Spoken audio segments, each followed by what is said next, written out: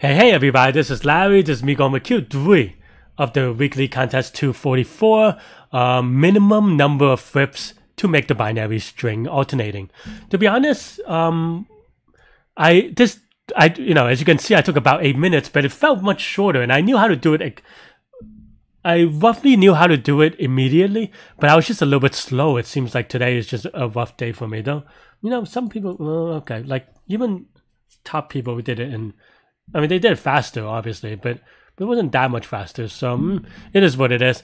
Um, and in this one, you know, remember to hit the like button, hit the subscribe button, join me on Discord. Let me know what you think. I didn't have any issues with this one at all. I was just thinking really slowly about off by ones because I was really worried about off by ones on this one. But the idea is brute force in a smart way. So, so okay. So let's say you have a string here. Um, anytime you so there are two observations, right? So let's say we have this string. Um, you know, you can remove any character at the beginning and append it to the end the string, which means that you're doing a full rotation of the string and you have to pick the best one out of that. So the next step from that is just, um, this is a common trick that comes up in competitive, which is that we double the string. And then now we only have to care about a sliding window of the original n number of characters. Um, hope that makes sense. Let me actually make this bigger. I forgot to make this bigger. Uh, I haven't done this in a while. But yeah. Um, so yeah, so now you're just doing a sliding window of of um of of basically the original string um, times two. So this is a common trick. I don't know how to describe it, but um, it comes in hand. It might come in handy sometimes, and in this case, it did. And then the next thing is is okay. Now, now we have this. The the next thing is just matching it with um, an alternating string. So then now we match it with 0, 1, 0, 1, 0, 0, 1. Oops. And and then here this becomes a, very easy sliding window uh, problem, right? Because now, you know, we, we now we get the cost of okay, what is the the number of different digits here with here, right? And in a prefix sum kind of way. So then here there's one difference. This is still one. This is now two. This is three. This is still three. This is four, five, five, six, seven, seven, eight, right? Um, so this is the prefix sum of the differences.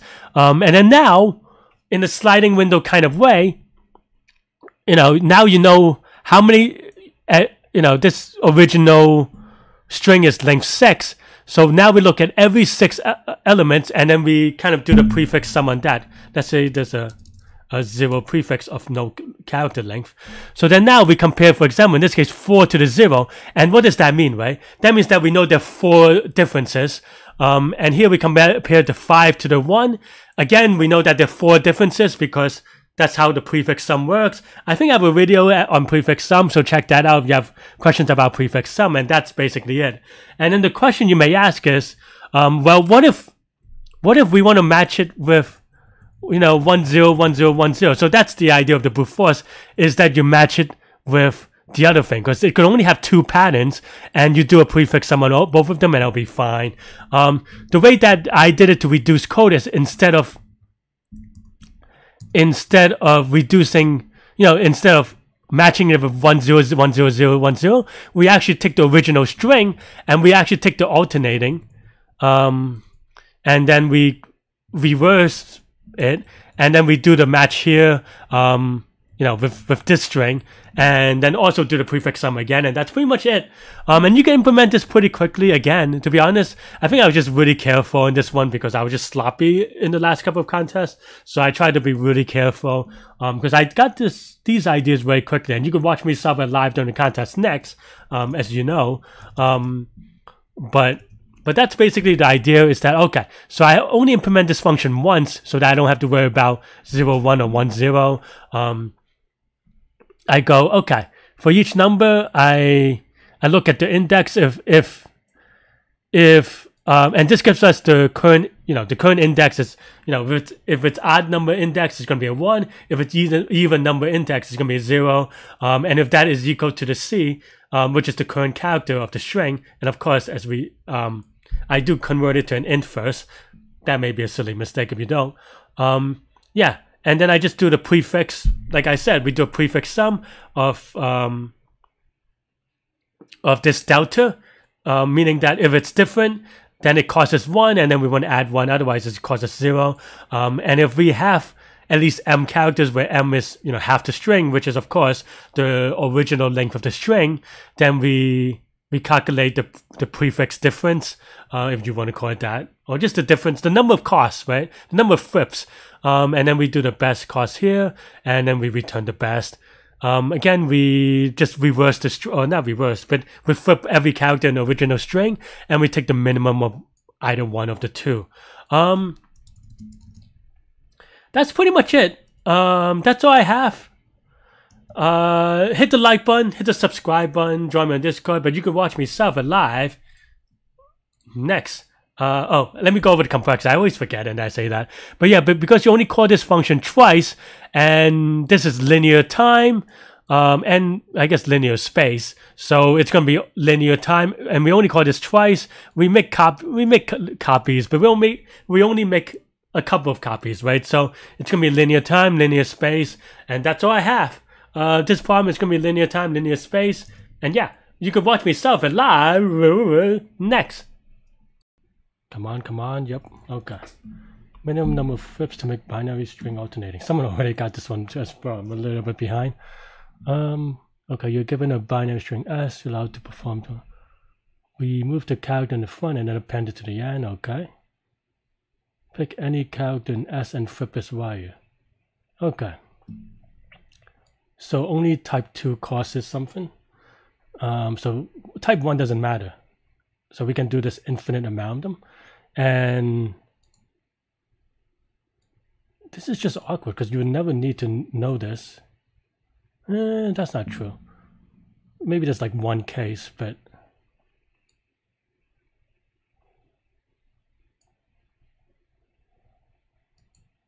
because it's free to move one of these. Mm. feel like there's a prefix something, but so we can do this and well mm,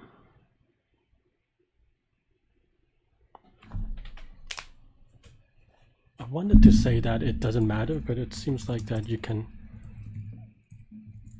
for someone like this you would do something like this. Mm, mm, mm, Mm, mm, mm, so uh, here, I was gonna say you can only you only need to move uh, do step one once, but that's not true. Hmm.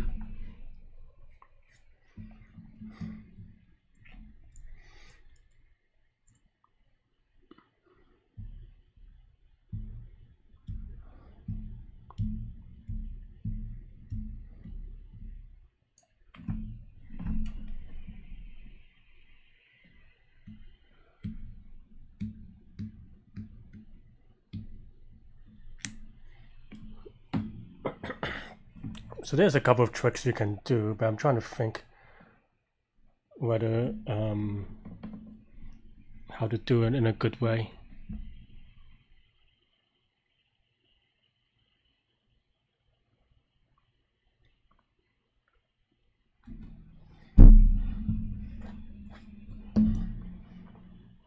Mm, okay. I think I have an idea, but implementation may be a little bit awkward, so this is kind of scary in that sense. Okay, let, let's play around with it.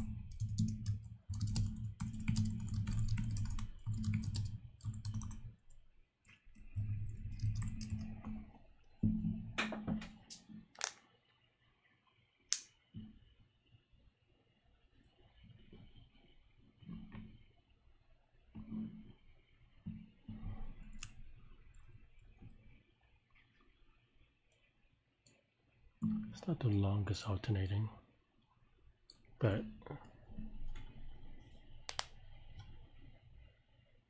I mean, there's a dynamic programming, I guess. But it's not really dynamic. Uh, maybe it is. But 10 to the fifth is a little bit weird to do it on, even though that is linear.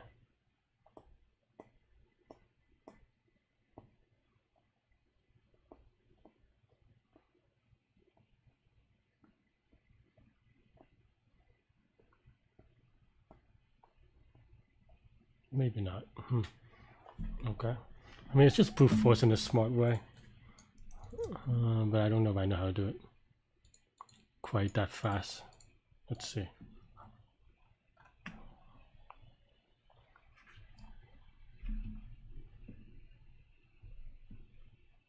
Okay.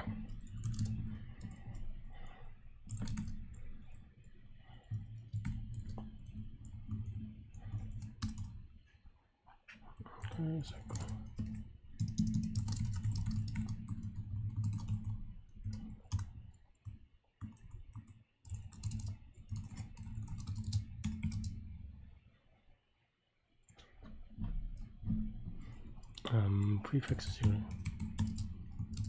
Oh, actually, just zero. That's fine. And then now for index C in range of in weight s uh, if index is 1 2 0 0 is equal to um, of c then this is good so then prefix prefix 1 plus 1 otherwise or maybe this is the c minimum flips. Okay so that means that if they're not the same then we need one flip. Okay and then now we have a best thing. Best flip is equal to n flips which would never happen but that's okay. Um, if index is greater than equal to n then prefix of index minus n. Oh this is a weird n. This is not this n. What we want is is well n over 2 ah, yeah.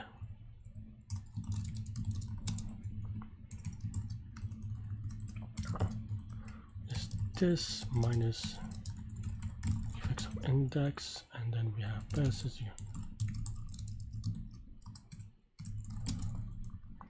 I may be off by one here but am I also, well, it's wrong direction in any case.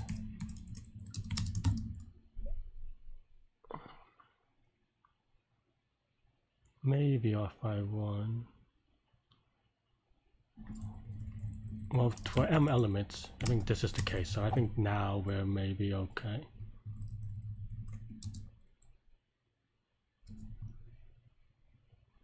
Mm. Let's let, let's look at it later. Um, okay. So this is not it, but mm, no, I think that's fine. So, okay, and now let's print the prefix array.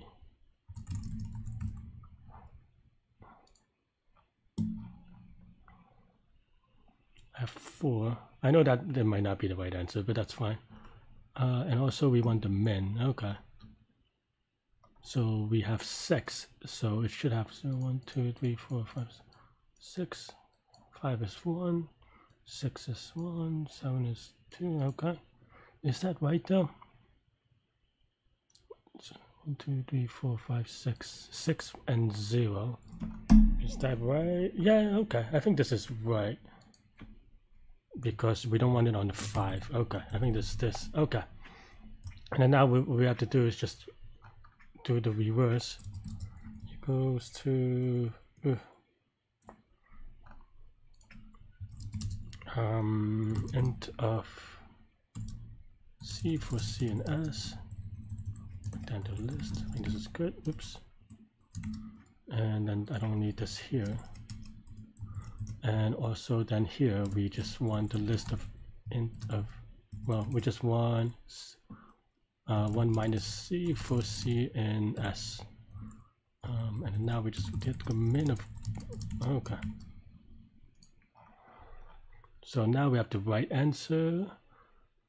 Is that right? 1, 2, 3, 4, 5, 6. 2, 0, and 1. Is that good? I guess that looks good. let's give it a submit. I don't know if this is good enough, but okay, cool. Uh, Q4 minimum spin. Yeah, I hope you enjoyed chilling and going through this farm with me. Uh, stay good, stay healthy, uh, to good mental health. I'll see y'all later, and yeah,